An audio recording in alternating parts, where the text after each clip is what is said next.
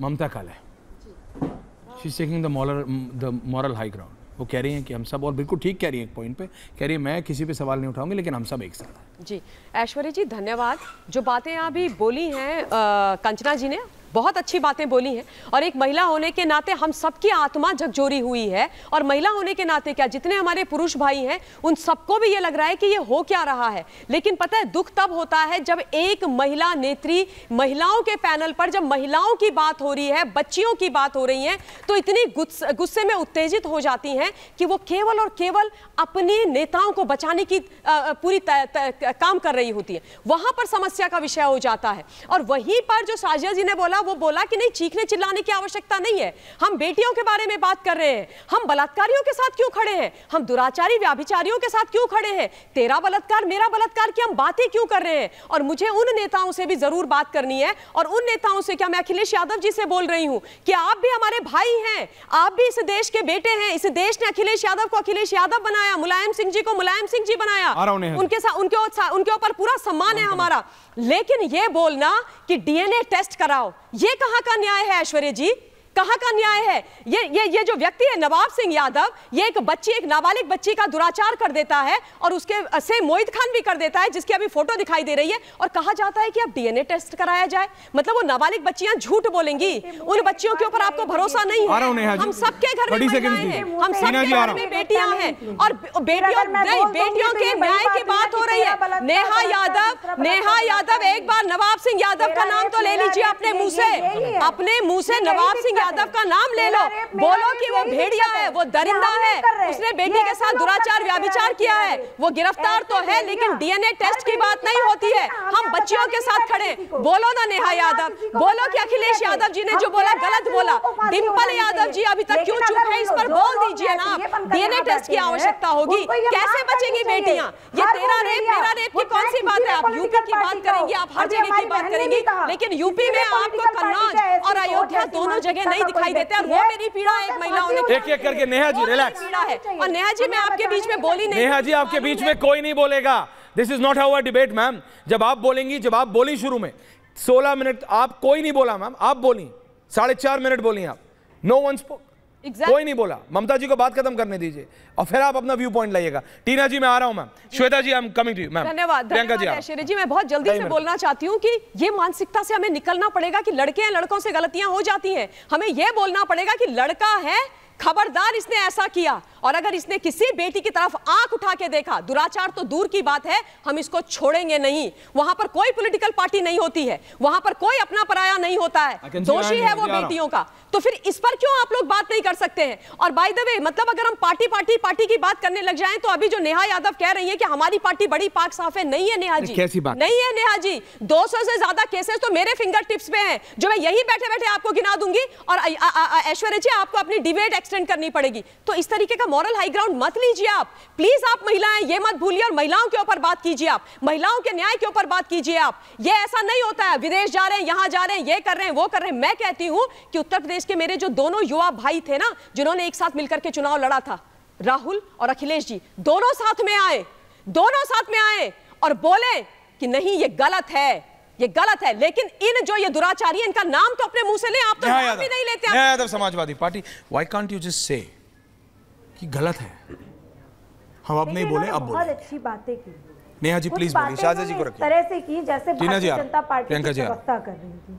ऐश्वर्य जी मैं ये कहना चाहती हूँ इस देश के नेताओं को ये भी शोभा नहीं देता कि 50 करोड़ की अरे घर भूल जाइए इस पार्टी देश को दो नेताओं मिनट को लिए। शोभा नहीं देता। शाहजा जी आ रहा दो मिनट के लिए भूल जाइए। क्यों आप एक- एक शब्दों का प्रयोग करें। आप- इस देश के नेताओं को ये भी शोभा नहीं देता कि जब आईआईटी बीएचयू में गैंगरेप जैसी घटना होती है, उन्हें बचाने के लिए आप मध्य प्रदेश का चुनाव प्रचार कराएँ और जब वो जेल से छूट करके आए तो उन्हें फूल माला पहनाकर स्वागत करें, उनका केक काट करके स्वागत करें।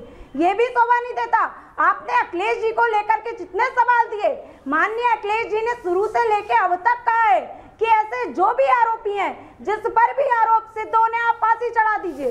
जो सजा देनी है दीजिए लेकिन एक किसी भी पॉलिटिकल पार्टी के लोगों को बचाने का अनावश्यक प्रयास मत कीजिए यहाँ बैठे हुए कुछ लोग जो न्याय प्रिय बनने का ढोंग कर रहे हैं वो ढोंगी लोगों को मैं बताना चाहती हूँ कि बलात्कारी किसी पार्टी का हो वो किसी भी पार्टी में रहता हो पर है वो भेड़ियाई जैसा कि ऐश्वर्या जी की डिबेट में भी उन्होंने पहले ही शुरुआत में कहा कि हम किसी भी प्रकार के किसी भी पार्टी का छोड़िए, मैं तो दो नाम लेता हूँ। आप बताइए नवाब सिंह यादव और मोहित खान कौन? लेकिन नहीं नहीं किसी भी पार्टी का छोड़िए। जरा करो, टीना जी आ रहा हूँ जरा स्पेसिफिक बात हो जाए। तो शाजिया जी नहीं नेहा जी बताइए ना मेरे को। आपने कहा किसी भी पार्टी में हो आई एम विद यू मैं आपके साथ हूँ जी। लेकिन आप ये तो बताइए कि नवाब सिंह यादव और मोहित खान कौन है? तो बोलिए कि आईआईटी बीएचयू वाले लड़कों को फांसी हो जानी चाहिए। मैम। उनको भी फांसी हो जाए। मैम। मैम। फांसी हो जाए। रेपिस्ट हैवान होता है वो तो पार्टी डिवाइड से नहीं होता है। वो पार्टी से डिवाइड नहीं होता स्टेट से डिवाइड नहीं होता नहीं होता। वो जात से डिसाइड नहीं वो होता वो धर्म से डिसाइड नहीं होता। उसने जो हैवानियत का कृत्य किया है उससे डिसाइड होता है। एक ये है जो समाजवादी पार्टी के साथ खड़े हैं और बराबर हैं जो बीजेपी के नेताओं के साथ खड़े हैं बराबर हैं जो कांग्रेस के नेताओं के साथ खड़े हैं पार्टियों में हैं। आप सारे नहीं आप सर क्या हिला रही हैं। सपा में है कांग्रेस में है भाजपा में है आम आदमी पार्टी में है आरजेडी में है क्या नहीं है क्या नहीं है? आप बताइए। ऑडियो इनका आप कीजिए सर। मोहित खान कौन है? नहीं उठाया। हैं? आप अगर एंकर हैं और ईमानदार एंकर हैं तो आपको सवाल पूछना चाहिए। नहीं नहीं आप मेरे को आपका सर्टिफिकेट नहीं चाहिए।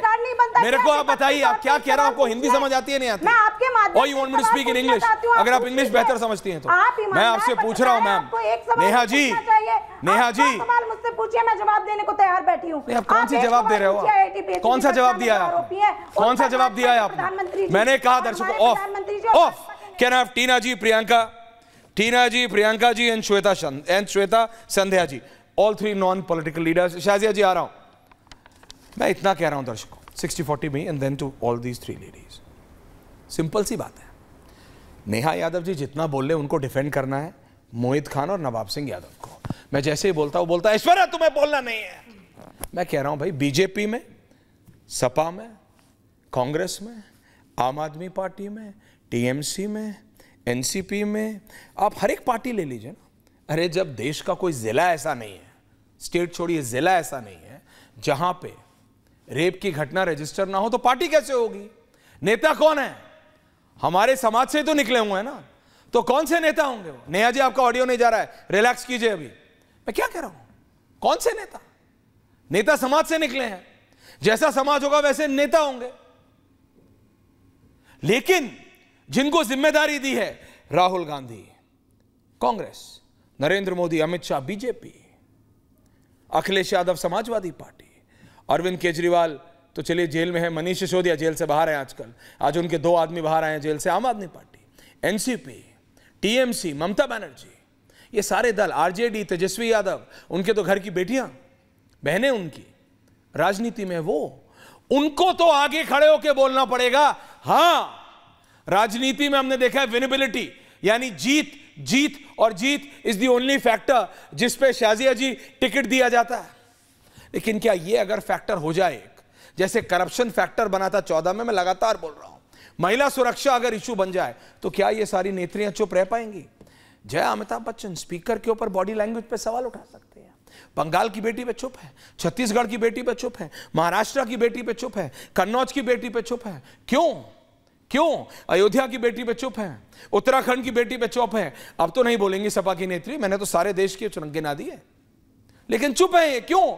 बिकॉज़ इट सूट्स देम कि इस पे बोलूँगी तो उस पे भी बोलना पड़ेगा, उस पे बोलूँगी तो उस पे भी बोलना पड़ेगा। इससे अच्छा चुप रहो। एंड दैट्स रॉन्ग ये हमको निर्णय लेना है कि हमारा नेता कौन होगा।